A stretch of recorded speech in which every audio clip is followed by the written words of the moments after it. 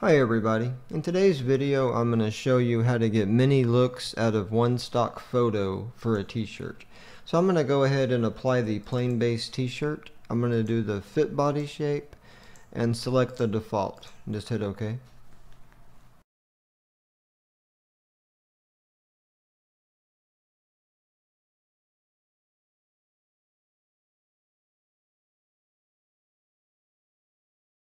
Okay, so now we've got our shirt there. I think it looks usually fits pretty well for most characters. And next we're going to go to the modify tab and I'm going to select this little button red here. And when I first looked at this I didn't think it would make a very good shirt but with a little bit of adjustments you can still get a lot of looks out of this. So I'm going to just go to the uh, little color adjuster here. The first thing I'm going to do is just you know, you can of course adjust the brightness. I'm going to take it down a little. And then something else I want to do, we'll come back to the color editor. I want to go to the uh, gloss, the specular. I usually put it to a pretty low number, about 6 or 8. And then I put the glossiness up to about 24, maybe even a little higher. Alright, now we're going to go back to here. And one of the things I want to do is you can always flip it horizontally. Sometimes that looks better or worse depending on the, the image we use. Doesn't make much difference in this one, but it gives us a little bit different look there.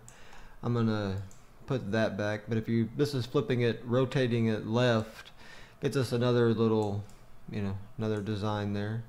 And we'll just do it one more time. So we're back to here.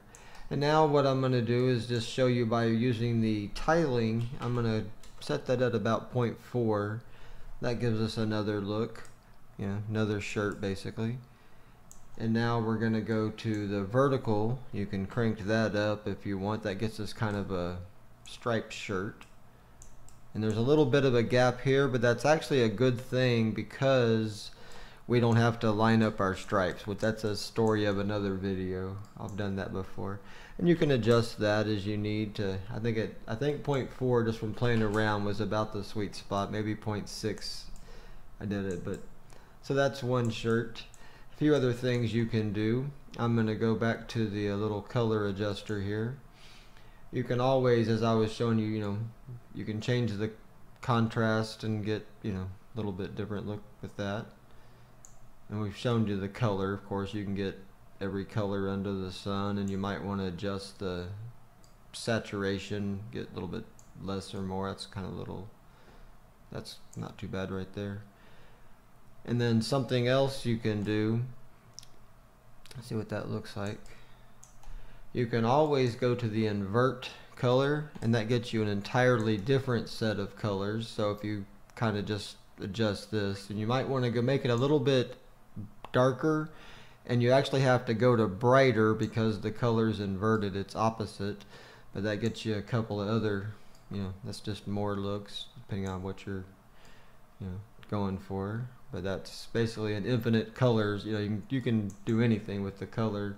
So we'll just kind of put that back but and you can contrast not going to mess with it too much but that looks pretty good right there. We'll probably with this I might want to even this is a I don't like that. Okay kind of stick with that seems to look the best but and then a few other things you can do. I'm going to just show you one other shirt that I was looking at and this one also had its own set of looks. That doesn't look we're going to reset all these values because this one tend to look the best at just that. And then I can that looked that's one look and then I was going to rotate that two more times to get back to this is the one I liked with kind of the blue on top and again I've got the issue of the stripes don't really line up but we'll do that in another video. And then a few other things you can do with this one that I thought let's see you know you can always uh, I don't usually use self-illumination but you you can if you have to. And let's see there's anything else we might could do to it to make it look uh, go back to the tiling. I think I did some of that with this.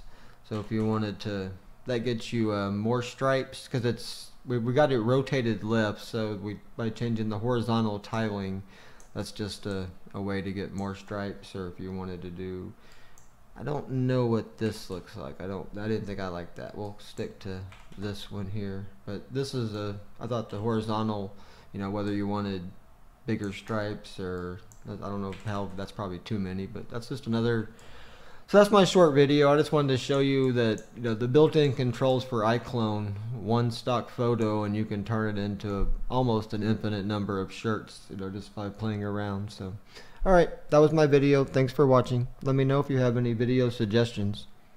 Have a great day.